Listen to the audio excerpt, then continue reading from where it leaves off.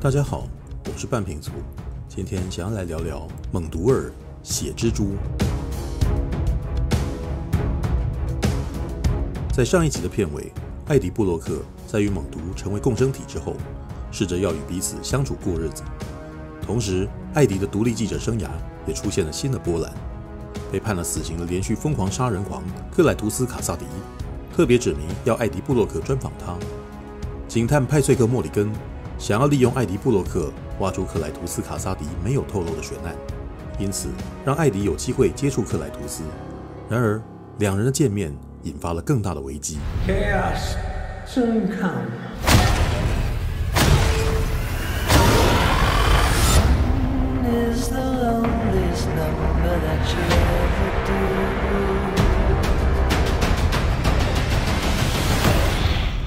说起来。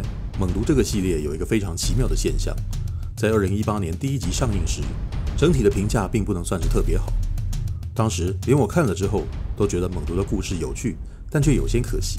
但即使评价不算好，但是电影却有八点五六亿美元的营收，叫做不叫好的奇特现象，似乎显示了猛毒的 IP 实力延续了蜘蛛人系列的高收益，这使得续作《猛毒二：血蜘蛛》因而诞生。而这一次的导演从《失乐园》的鲁宾·弗莱舍。换成了安迪·瑟克斯，没错，就是那个演过《咕噜》《金刚》《星球崛起》的凯撒，以及《星际大战》里头的史诺克的安迪·瑟克斯，而其余的原班人马阵容则全数回归。看到这个消息时，我的想法是，看样子这一次《猛毒二：血蜘蛛》会有非常多的虚拟角色表演吧。果不其然，《猛毒二：血蜘蛛》当中，猛毒这个角色的表演能量极为旺盛。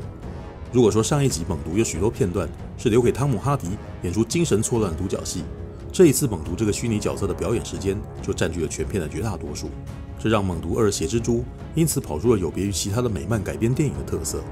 过往的美漫改编电影，通常身为超级英雄的主角，多半都会卡在那种一个人在家很寂寞，没有什么人理解他的秘密，导致有苦说不出的套路。但是猛毒二血蜘蛛却完全不是这种情形，甚至可以说，大部分的时间，主角艾迪布洛克巴不得能一个人静静过日子。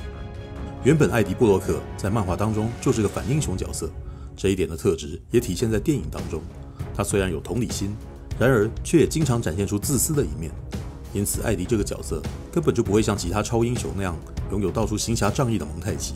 电影当中大部分的时刻都是在讲述他与猛毒这两个不得不共生的伙伴怎么试着与彼此相处。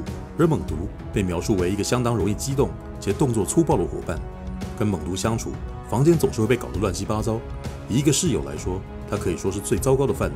制作团队明显也是很想强化这一点，所以艾迪布洛克与猛毒在家里头的对话镜头没有一刻是停止的。原本理应最为舒服安适的环境，竟然变得如此紧绷。身为观众，我得承认我很能同理艾迪布洛克的焦虑，因为连我自己都感到相当的不舒服。艾迪布洛克想要脱离猛毒的心境描述，绝对是具有说服力的。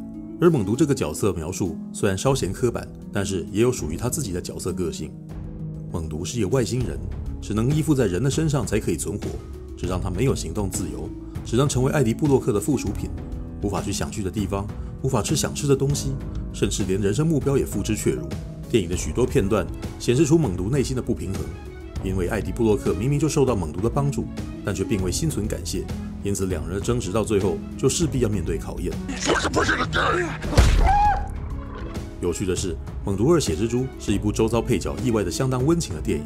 艾迪周遭的亲朋好友竟然大部分都知道猛毒的存在，而且还多所包容。他们对待猛毒这个想要吃坏人脑袋的可怕外星人的态度，竟然都像是在对待一只脾气不好的黑猫似的。这一点倒是跟艾迪家中的惨况意外的相符。身为猫奴的我，已经非常习惯家里头的各种家具物件会被损毁了。这也使得每当猛毒碰上片中的配角时，故事就会忽然变成家有阿福般的情境喜剧风格。I am happy for you. No. I'm so sorry. I'm sorry. This two needs some serious couples counseling. 但这也算是电影当中最为轻松的时刻了，因为艾迪只要一回家，我们这些观众就要继续忍受猛毒的暴躁情绪。说完了主角，再来聊聊反派吧。这一次电影出现了两位反派，一位是在上一集的结尾就已经出场的克莱图斯·卡萨迪，另一位则是克莱图斯的女友奸笑法兰西斯·巴瑞森。电影的开场就描述了，奸笑是一位拥有可以放出高频率音波的特异功能者。与克莱图斯在精神疗养院当中相恋，却因为被移奸而导致双方离异。克莱图斯在即将受刑前找上艾迪，希望能够利用他的新闻报道讲述自己的故事。然而，艾迪与猛毒反而利用他所提供的线索，挖出了克莱图斯隐藏的秘密，让悬案破案，并且让自己名利双收，两人因而结怨。在行刑前夕，克莱图斯弄伤了艾迪，因此获得了自己的共生体屠杀。得到屠杀的克莱图斯因此逃离了监狱，并且找到了自己的爱人法兰西斯。这对鸳鸯大盗就此盯上了艾迪。猛毒与屠杀两个共生体，最终仍旧要有一场决战。首先，制作团队找上伍迪·哈里逊饰演杀人魔克莱图斯，很明显是因为伍迪·哈里逊曾演出过奥利弗·史东的名作《闪灵杀手》，因此全片也处处可以看得到伍迪·哈里逊桀骜不驯的谈吐与疯狂，还有对爱人的恋慕。但是与《闪灵杀手》不同，克莱图斯是个喜欢写诗句的杀人魔，因此伍迪·哈里逊更像是在用自己的表演方式诠释人魔当中的汉尼拔·莱克特。全片大概也就伍迪·哈里逊是最有表演层次的一位人类角色了。相较之下，另一位反派奸笑法兰西斯·巴瑞森则显得雷声大雨点小。开场花了这么多的时间处理他的过往，然而在被拯救出来之后，剧情却将他描述为因为共生体屠杀与猛毒同样害怕高频率音波，因此屠杀无时无刻都在警告让那个女人闭嘴。这段剧情其实还颇有意思的。我在看的时候一直在思索，制作群难道想要诉说有实力战胜男性的女性被压抑的讯息？然而就算如此，这个讯息。就像是一个没有获得解答的支线。猛毒二血蜘蛛最终讲述的主旨，仍旧是伙伴之间的互相包容。所以故事最后仍是让艾迪与猛毒对上屠杀的对决作为结尾。奸笑则像是每隔几回合就对战场做出无差别攻击的 NPC。只要这女人一尖叫，擂台上的两位选手就得痛苦的中场休息。这一点意外的还颇具娱乐性。总体而言，猛毒二血蜘蛛的影片节奏相当的快，故事的发展也颇为快速。几段战斗场面的效果猎奇且炫目，但有好几段的故事衔接有些逻辑障碍。但整体而言，并不影响叙事。电影的视觉风格明显是想要回归早期山姆雷米版蜘蛛人，带有黑色魔幻的漫画视觉风格。有好几幕也的确做得很有山姆雷米作品的味道。这是一部讲述伙伴关系的反超级英雄电影，依赖的是观众对于猛毒这个经典角色与汤姆哈迪的魅力。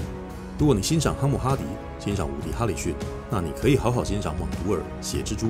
最后，这部电影有一个隐藏片尾，讲述的讯息是个大事件。如果你喜欢看美漫改编电影的话，千万不要错过。